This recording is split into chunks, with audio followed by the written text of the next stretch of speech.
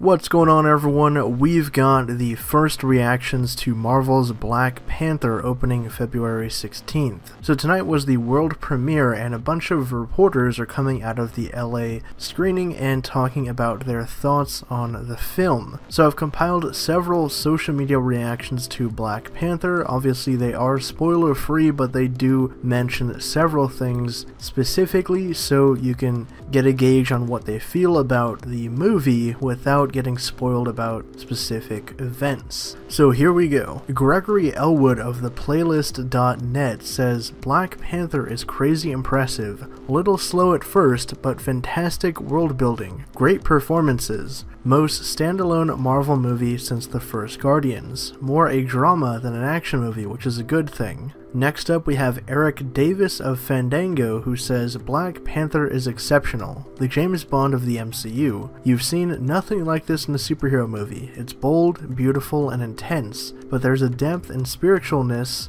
that is unlike anything Marvel has ever done, which you can definitely tell by all of the trailers thus far, and marketing materials definitely does feel a bit James Bond and sort of spy elements in there, political thriller, with also a spiritualness that we can see, obviously, that comes across from Wakanda. Next up we have Jen Yamato of the LA Times who says Black Panther is incredible, kinetic, purposeful, a superhero movie about why representation and identity matters, and how tragic it is when those things are denied to people. The first MCU movie about something real, and Michael B. Jordan's Killmonger had me weeping, and he's the villain. Next up, we have Mike Ryan of Uproxx, who says Black Panther is not screwing around. By far the most political Marvel chapter, to the point I had to remind myself this is a Marvel movie. Black Panther is just a movie with a lot to say and he once again praises Michael B. Jordan's performance in the film. Next, we've got editor-in-chief of Collider, Steve Weintraub, who says, Marvel does it again with Black Panther. Very impressed with the story and filmmaking. Michael B. Jordan absolutely kills it as the villain, and is the best one since Loki. Also, Danai Gurira kicks ass, and I loved every second of it. Going to make serious money.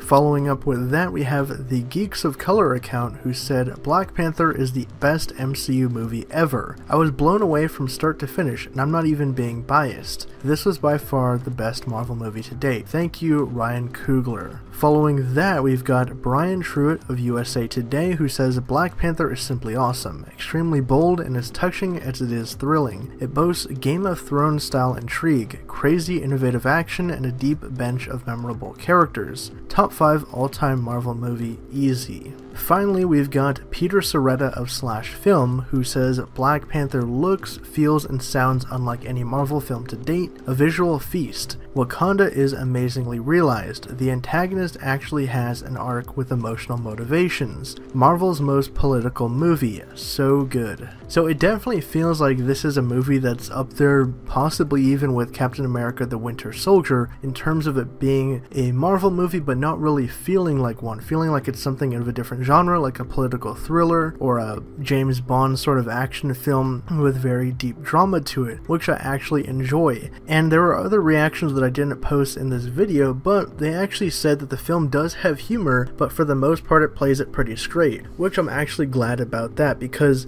it seems like the subject matter is dealing with real world political events and themes, and I really wanted them to kind of ground the narrative and make it much more serious, like they did with The Winter Soldier. So, overall, my personal thoughts on these reactions gets me very excited. I can't wait to see the movie now and I'm definitely looking forward to seeing how this film kind of can introduce and innovate while still being part of this Marvel saga. But drop your thoughts down in the comments below. What do you guys think of these first reactions, and are you excited even more now to see Black Panther when it opens in just a couple weeks? And for more updates on everything in the Marvel Cinematic Universe, be sure to subscribe to Hybrid Network.